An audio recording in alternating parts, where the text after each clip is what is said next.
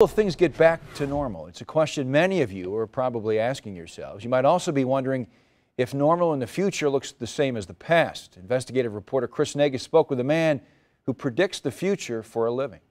My job is to help expand people's thinking about what the future holds. Thomas Frey's job title, Senior Futurist at the Da Vinci Institute in Colorado, an organization with a mission to understand the future of humanity.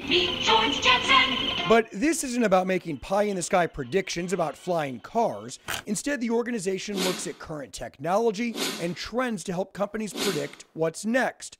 Frey says coronavirus will change all of our futures. We're going to be assessing levels of risk with everything that we do. We're entering the post normal era. He doesn't have a crystal ball, but he says the sudden societal shakeup will lead to lasting change. This is pushing us to do more things virtually. Think about this. We know it will snow in the future, but with kids getting used to e learning, will school actually get canceled? So I think we're going to see lots of experimenting to see if we can uh, eliminate snow days, but uh, not only that, but we can we can actually do a lot of things online. He also predicts a fundamental shakeup in the labor force and believes many will not return to the jobs they were forced out of. Well, there's a lot of people that don't feel that their their, their job's giving them the meaning, the purpose that they wanted, and they've always felt like they were kind of trapped in their position that they didn't want to stick their neck out. Well, this is a perfect opportunity for them to try something else. He thinks self checkouts will grow, and for those that still go through the checkout lane, the newly installed clear partitions might be permanent. Another unintended consequence how it impacts faith. Do you think more people will be watching church online? Absolutely. There's a lot of despair, and uh, there, there's a lot of people who are, um, are just feeling very uncertain about things. And this, I think, will drive a lot of people back to church. When it comes to retail, he sees major changes. Since so many people are shopping online, stores will need to be creative. They're going to have to have a, a much larger entertainment component to it.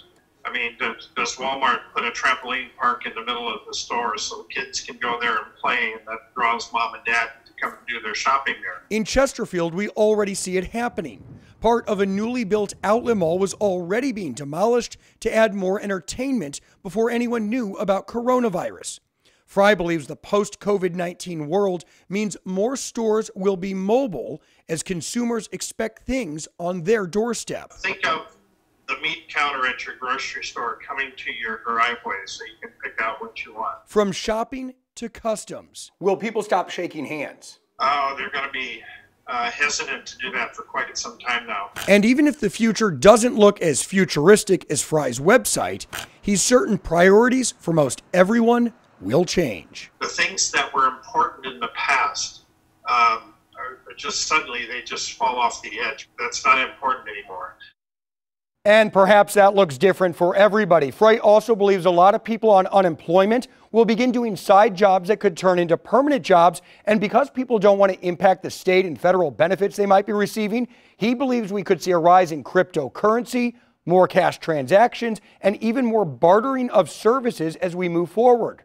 Now, do you have any thoughts on what big changes might be coming in the future? You can let me know on my KMOV Facebook page. Chris Nagus, News 4.